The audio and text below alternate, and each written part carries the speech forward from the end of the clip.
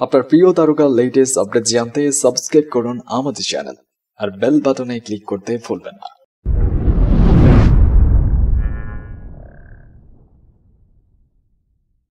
অন্তঃসবিজের আয়োজনে বিতর্কের ঝড় তোলা মিস ওয়ার্ল্ড বাংলাদেশ দুই হাজার আঠারো নিয়ে এবার মুখ খুললেন এই সুন্দরী প্রতিযোগীর অন্যতম বিচারক, নন্দিত র্যাম্পে মডেল এবং অভিনেত্রী শবনাথ সাদিয়া ইমি। নানা অনিয়মে সদ্য শেষ হওয়া মিস ওয়ার্ল্ড বাংলাদেশ প্রতিযোগিতা, শীর্ষ বাছাইদের মেধা এবং যোগ্যতা নিয়ে গণমাধ্যম সহ সোশ্যাল মিডিয়ায় বয়ে যাচ্ছে তুমুল সমালোচনার স্বর। সেরা তিন সুন্দরীকে গাধা উল্লেখ করে সে ঝড়ে আরও গতি যোগ করলেন ইমি।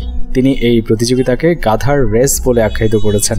অবশ্য অংশগ্রহণকারীদের জন্য শুভকামনা জানাতেও ভুল করেননি দেশীয় র্যাম্পের এই সুপার মডেল মিসওয়াল বাংলাদেশ দুই হাজার আঠারো এর বিচার প্রক্রিয়ার সঙ্গে সরাসরি জড়িত শাবনাজ সাদিয়া ইমি। তার ফেসবুক স্ট্যাটাসে এসব বিষয় উল্লেখ করেন। তার স্ট্যাটাসটি হুবহু তুলে ধরা হলো। তিনি বলেন, তিনটি গাদা রেস করলে একটা তো জিতবেই, এটা স্বাভাবিক। জানি ঘোড়ার রেসের ময়দানে কেউ গাধার রেস দেখতে চাইবে না। কিন্তু মুশকিল হলো, ঘোড়ারা যদি অংশগ্রহণই না করে, আস্থা বলেই পড়ে রয়, তাহলে তো গাধা দিয়ে এই রেসটা সারতে হবে। অন্তত শুরুটা তো তারা করে দিল।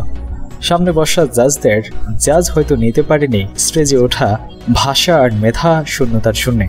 তবে এই গাধার দলটাই কিন্তু একদিন পথটা চেনাবে ভবিষ্যতের দুঃখর ঘোড়াগুলোকে। হাস্যকর হলেও নিরাশ হবার কোনো সুযোগ নেই। অন্তত আমি তাই মনে করি। আমার শুভকামনা থাকল তাদের জন্য।